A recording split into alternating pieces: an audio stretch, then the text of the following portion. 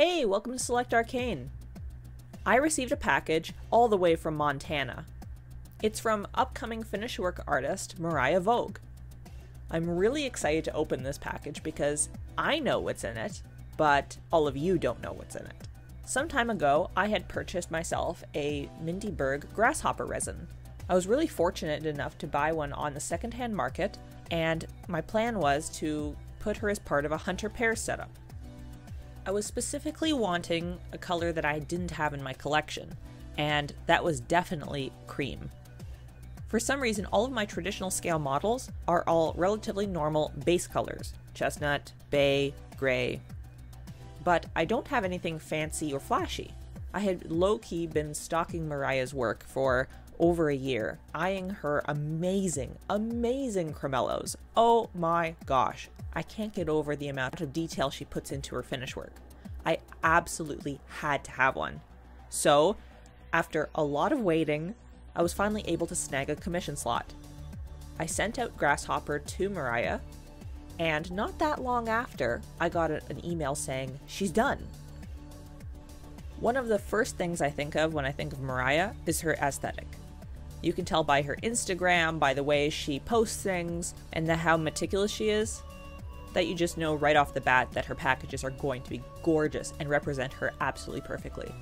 The first thing I pulled out was her gorgeous business card that I believe she designed herself, and also a really nice personal card. Um, I won't read it, it's just kind of thanking me for the commission. Can we just talk about Morriah's handwriting is absolutely stunning, perfect cursive writing. Nobody teaches that anymore. I have the handwriting of a doctor. It's completely illegible. Also in the box is a logo sticker and a photo of Morriah and her dog Oliver. I know for a fact that Yata, who's sitting right beside me, would be obsessed with Oliver because he finds the biggest dog in the dog park and makes friends with them instantly. Sifting through all the peanuts and struggling slightly, I finally uncover the treasure. The pouches you're seeing are actually the ones that I originally shipped Grasshopper in. They're just a collection of pouches that I had, and I don't remember sending so many. Oops. Look at this packaging, you guys.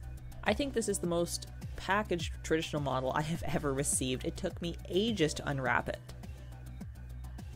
Bubble wrap and all those pony pouches are the ones that I sent Grasshopper in when she originally went for finish work.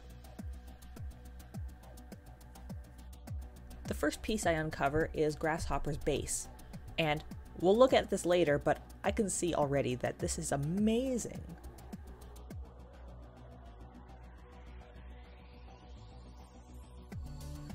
More pouches. More bubble wrap. Hold on, this is taking a moment.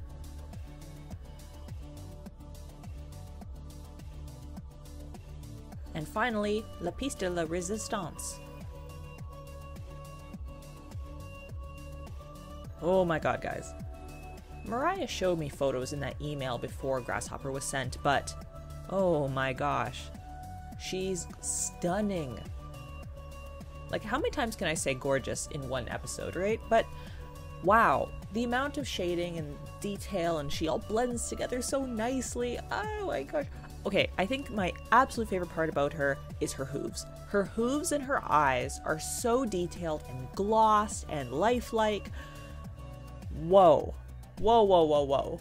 I know Morriah hasn't been a professional finish work artist for that long. Um, I'm not sure how long, really. I, I'm not, I don't really know much about her, but whoa.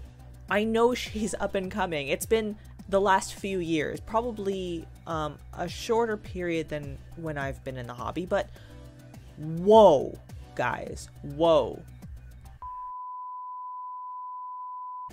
Sorry about that, I had to compose myself.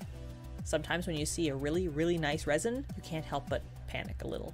Here's some extra detail shots of Morriah's handiwork. I think Morriah's finish work on Mindy's sculpture is very, very well done. It's very lifelike, isn't it? I can't wait to put her in the show ring when things kind of reopen around here. Right now, things have been pretty closed off, and we haven't had any shows for the last two years, so I'm pretty excited to take her back into the circuit.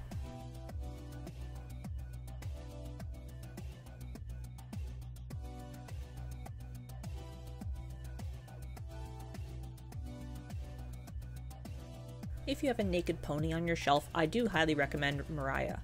You can find her mostly on Instagram, and I have the link below. I also linked Mindy's website in the description box below so you can check out any new sculptures that are coming out. I know Grasshopper is a closed edition, but you can also find them on the secondary market, sometimes, if you're really lucky like I was. Thank you so much, Morriah, and I can't wait to send more horses your way one day. I'm really excited to have this one in my collection, and, well, she needs a name. I'm gonna go with Masala Chai, because it's a creamy tea beverage made by boiling black tea in milk and water with a mixture of aromatic herbs and spices. And as you can see, this mare is spicy. With one final Yatta approval, I am closing this video. If you enjoyed this video, follow me on Instagram if you haven't already at Select Arcane, or find me on Facebook at Select Arcane. Thank you everyone for watching, and see you next time. Bye!